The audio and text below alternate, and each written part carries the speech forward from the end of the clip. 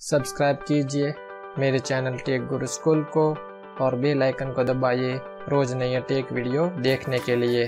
नमस्कार दोस्तों, मैं Sanjay Dave tech guru school में आप सभी का फिर से एक बार स्वागत करता हूँ। आज का वीडियो शुरू करने से पहले आप सभी दोस्तों को रिक्वेस्ट है कि अगर आप मेरे चैनल पर नए नए आए हैं तो वीडियो के नीचे दिखाई दे रहे लाल कलर के सब्सक्राइब बटन पर क्लिक करके मेरे चैनल को सब्सक्राइब कर लीजिए और बेल आइकन को दबाना मत भूले जिससे आपको वीडियो की नोटिफिकेशन है, वो मिलती रहे। और अगर आपने मेरे चैनल को ऑलरेडी सब्सक्राइब कर रखा है तो आप सभी दोस्तों का बहुत बहुत धन्यवाद। आज का वीडियो का टॉपिक है कि Epson L two one zero का अगर वेस्ट पेड फुल हो जाता है या उसकी एरर आती है तो उसको हम कैसे सॉल्व कर सकते हैं? तो ये वीडियो को शुरू करने से पहले इस वीडियो के बारे में आपको कुछ इम्पोर्टेंट बातें हैं वो मैं आपको बताना चाहूँगा। पहली बात ये कि अगर आपका प्रिंटर वारंटी में है तो इसको घर पे मत ट्राई करिए, क्योंकि अगर आप घर पे ट्राई करके एप्सॉन का जो प्रिंटर का जो सील है वो उसको लूज कर देंगे या घर पे ओपन कर देंगे तो आपकी जो वारंटी है वो आपको नहीं मिल सकती है।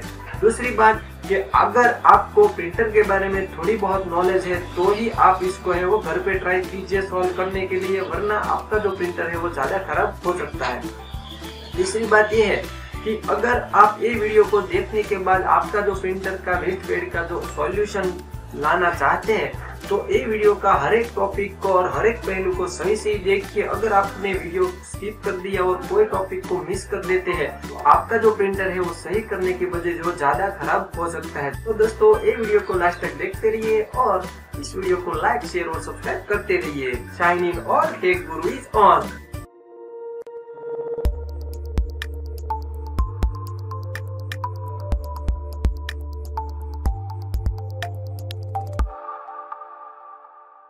अगर इंक पैड का प्रॉब्लम है और आपका इंक पैड फुल हो गया है तो उसके प्रॉब्लम को सॉल्व करने के लिए मैं जो आपको स्टेप दिखा रहा हूँ उसको सही सही फॉलो कीजिए। तो चलिए मैं प्रिंटर को जो है वो, वो आपको प्रिंटर पे दिखाता हूँ कि कैसे आप अपने जो इंक पैड को है वो ओपन करके फिर से रिस्टोर कर सकते हैं। तो उसके लिए दोस्तों तो पहली बात यह है कि इंक का जो स्टोरेज है दोस्तों उसको ये लॉक है, वो आपका जो है, इधर इस तरह से ऑन होगा।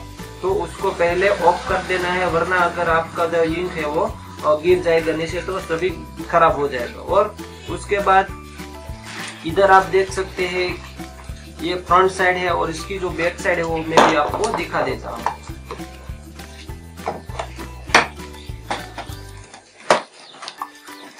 तो ये प्रिंटर की, ये है बैक साइड तो ये दोस्तों आप देख सकते हैं, हम आ गए बैक साइड पे तो मैंने पहले बताया था, इस तरह इसका जो स्टोरेज इंक स्टोरेज है, उसको सही से रख दीजिए, वरना वो ये है वो जो गिर जाएगा। उसके बाद इधर आप देख सकते हैं, ये स्क्रू है उसको ओपन करना है। ये जो स्क्रू है वो इंक पेड को ओपन करने के लिए इधर से खोलना ज़रूरी है। उसके बाद इधर आप थोड़ा संभल के इसको ऊपर कर लीजिए ताकि जो है इसके अंदर की जो इंक है उसको ज़्यादा प्रॉब्लम ना आए और प्रिंटर को भी प्रॉब्लम ना आए। एक बात ध्यान रखिए तो ये इंक स्टोरेज है उसको है, वो गिरने नहीं देना है। तो ये आप देख सकते हैं दोस्तों, ये है इंक पैड तो उसको खोलने के लिए मैं इधर से स्क्रू को ऑलरेडी ओपन कर दिया है, वो ये साइड इसको धक्का देना है। उसके बाद ये जो इंक पैड है, वो ओपन हो जाएगा। तो ये दोस्तों आप देख सकते हैं कि ये है हमारा इंक पैड तो मैंने ये इंक पैड को दोस्तों ऑलरेडी रिफ्रेश किया हुआ है।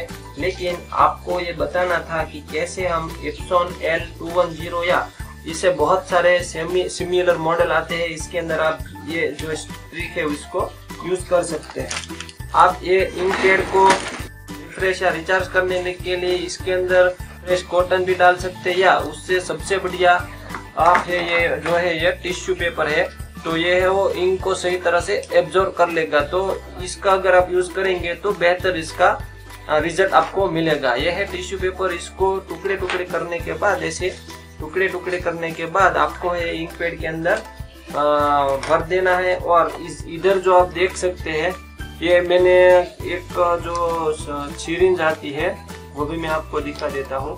तो आप देख सकते हैं इंजेक्शन है फाइव एम का आता है। तो उसको इधर के, इसके अंदर जो इंक आती है, ये इंक इसके अंदर गिरती है।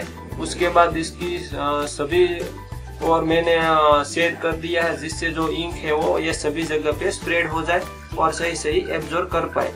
तो ये जो है वो इसके बरोबर सेंटर में ये आप देख सकते हैं इधर। अगर आपको जो फोकस कैमरा बरोबर हो रहा है तो इधर आप ये देख सकते हैं कि पॉइंट के बरोबर सेंटर में आना चाहिए। तो दोस्तों ये तरीका है इंक पैड को रिफ्रेश करने के लिए तो मैं इसको फिर से है वो सही सही से बंद कर देता हूँ। तो आपने देखा कि कैसे हम एप्सॉन या इनके जैसे सिमिलर मॉडल के अंदर सही सही या सही तरीके से इंक को है वो रिफ्रेश या इसकी एरर है वो सॉल्व कर सकते हैं। तो नेक्स्ट वीडियो में हम दोस्तों ये बात करेंगे कि आज हमने जो इंक पैड का जो प्रॉब्लम है वो कैसे सॉल्व करेंगे वो देखा, लेकिन इंक पैड का जो प्रॉब्लम है सॉल्व करने के बाद कई बार इसका जो इंक पैड जो फुल हो जाता है, उसका सॉफ्टवेयर के अंदर भी प्रॉब्लम हो जाता है। तो इसको सॉफ्टवेयर में कैसे सॉल्यूशन कर सकते हैं और कंप्यूटर के साथ कनेक्ट करके हम कैसे इसको, इस प्रॉब्लम को सॉल्व कर सकते हैं? तो नेक्स्ट वीडियो में हम दोस्तों उस टॉपिक के बारे में बात करेंगे, जिसमें एप्सोन का जो इंक पैड है, उसको प्रॉब्लम सॉल्व करने के बाद जो दूसरा प्रॉब्लम है, वो आ जाता है। वो प्रॉब्लम ये है कि Epson ink pad is out of service तो ये वो एरर मैं आपको साइड में दिखाता हूँ, ये भी आप देख लीजिए। तो इस एरर को कैसे सॉल्व कर सकते हैं, उसकी बात हम नेक्स्ट वीडियो में देखेंगे। ये वीडियो अगर आपको अच्छा लगा तो इस वीडियो को लाइक शेयर और सब्सक्राइब करना मत भूलिए। अगर आपका कोई सजेशन है तो इसे कमेंट बॉक्स में लिख के आप मुझे बता सकते हैं। तो आज की वीडियो में बस इतना ही। ऐसे नहीं इंटरेस्टिंग थे और ऐसे वीडियो के साथ फिर मिलेंगे। तब तक के लिए जय हिंद, वंदे मातरम।